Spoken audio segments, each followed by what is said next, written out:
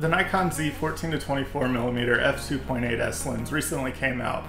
Back in August, I also had the chance to test out the Nikon Z 20mm f1.8.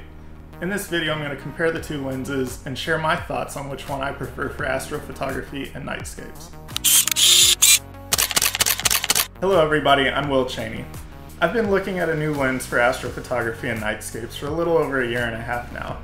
Recently, I was able to test out both the Nikon Z 20mm f1.8s lens and the Nikon Z 14-24mm f2.8s lens. If you're trying to find a new lens for astrophotography and nightscape images, stick around to see which lens I like better and to also see a couple of comparison images between the two.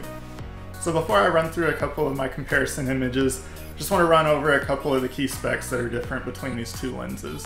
A few things to be noted, the 14 to 24 millimeter lens does have adjustable focal lengths, so where the 20 millimeter is just a prime lens. Another key difference between the two lenses is that on the 14 to 24 millimeter, the maximum aperture is only 2.8, so where on the 20 millimeter, it's 1.8. In terms of astrophotography, I think that 1.8 really lends a hand to the 20 millimeter lens. And the next thing that I would look at just between the two is the weight. The 14 to 24 millimeter weighs in at 1.4 pounds and the 20 millimeter weighs in at 1.1. So the 20 millimeter is a little bit lighter. Is it really that big of a difference? Probably not.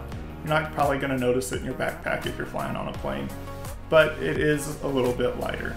And just a bonus one on this, uh, if you are looking at using this lens for other things like landscape photography, uh, one thing to note, the 20 millimeter lens has a minimum focal distance of 7.92 inches, and the 14 to 24 has a minimum focal distance of 11 inches. So if you're trying to get in close on an object, that will make a difference.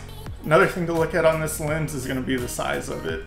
So the 14 to 24 millimeter has a length of 4.9 inches, and then 20 millimeter has a length of 4.27 inches. So again, the 20 millimeter wins out again just from a size perspective. And then the final thing to look at is the size of the filters that fits on these lenses.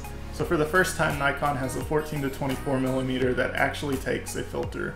However, the filter is 112 millimeter thread, so you're looking at a pretty large filter to go out on the front of your lens, and that's gonna get expensive. However, in comparison, the 20 millimeter lens accepts a 77 millimeter filter, so it's a lot smaller and it's gonna be a lot cheaper. And finally, one thing to look at on these lenses and compares the price. The 14 to 24 comes in with a price tag of about $2,400 after tax, leaving you about $2,600 out of pocket. Compare that to the 20mm f1.8, rings in at around $1,000. You get it a little above or a little below depending on if it's on sale or not. So for a $1,600 difference, if you're just planning to use a lens for astrophotography and nightscapes, I think hands down you go with the 20mm f1.8. So next off, I want to go through and compare a couple of images that I took with the 14 to 24 and also the 20mm. Alright, so let's start jumping into a couple of photos here. So this was taken with the Nikon Z 14 to 24 millimeter f2.8 lens. If you want to see more on this lens, I have a link down below in the description. In that video, I go a little more in depth on the specs and looking at different images. So looking at this one here, uh, this is at 14 millimeters, f3.5. Uh, little bit of star trailing going on in the corners, uh, honestly kind of just throughout the entire image and that's just from the 25 second exposure. So real quickly what I want to do if the computer will let me is flash through three different photos really quick. So I'm going to start here on the f3.5 image and what I'm going to do is go through the three images real quickly, uh, the f3.5, the f3.2 and the f2.8. And what you'll notice as I go through them is when you get to the f2.8 there's a lot more vignetting and you'll see that as it switches between the three photos.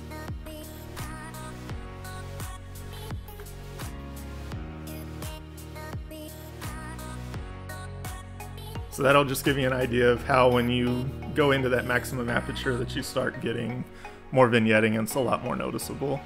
Uh, so now that we're at the maximum aperture, uh, just one thing to look at real quick, uh, maybe a little bit of coma on this star here and on this one here, but other than that, it's a pretty clean image. Uh, like I went over in my other video, it's really got great optics. So, great lens here. So this is just another set of images at 14 millimeters on the 14 millimeter to 24 millimeter f2.8. So just going through these again, you'll notice the same issues with the vignetting. Uh, because I'm going to go from 2.8 to 3.5 this time, uh, you'll notice that it actually it's brighter out in the corners.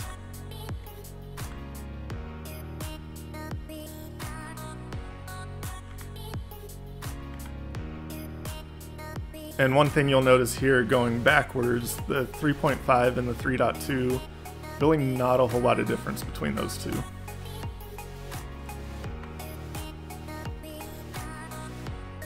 But then when you drop from the 3.2 to the 2.8, you definitely get a lot darker out in the corners.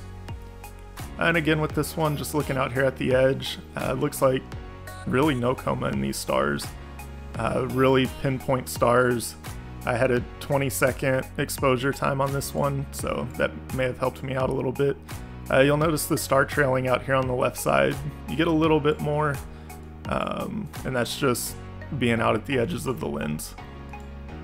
So the next image here, this is just one of my favorite photos that I've ever taken. This one was taken with the Nikon Z20mm f1.8 lens in some of the darkest skies in the nation. You can really see just how well honestly any lens would perform out in an area that's this dark. Uh, so this one, ISO 6400, 20 millimeters, f1.8, uh, and a 20 second exposure.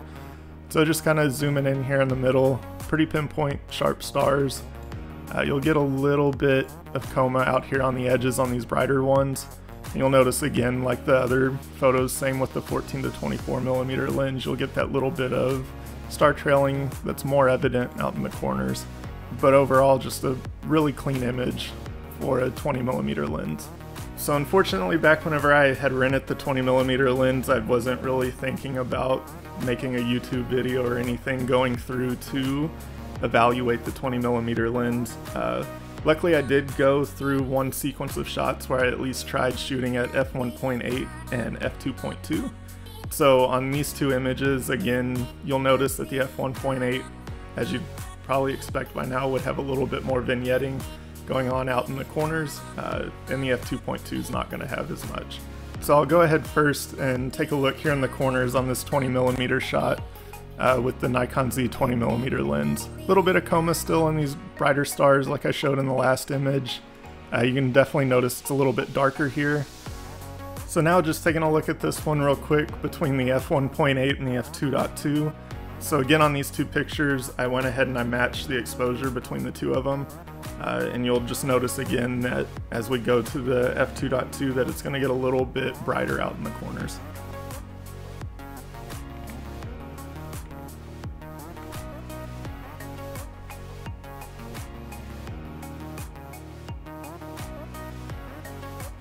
It is a little noticeable as you go through it a lot quicker, just going back and forth between them a few times. Uh, but overall, I mean, I'm happy with either one of those shots. So just one more photo here. Uh, just if you want an idea of what one of these photos looks like, edit it. This is just one of the edits that I put together on it.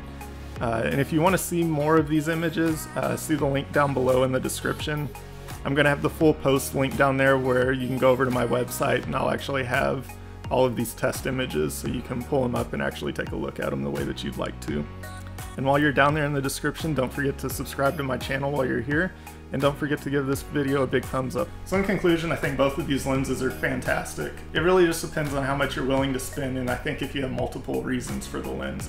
So the 14 to 24, if you're shooting astrophotography and nightscapes only, I think I'd lean with going the 20 millimeter. However, if you're also looking at shooting a lot of landscape photography as well, I think the 14 to 24 millimeter starts to become worth it. It's a great lens and it completes the holy trifecta. However, the 20 millimeter, you're still gonna get good landscape photos with it. There's no doubt about that. You just won't be able to get quite as much as the wide angle on it. So if you've stuck around this long, I'd really appreciate it if you hit the thumbs up button down below. And don't forget to subscribe. Thanks everybody. See you guys next time.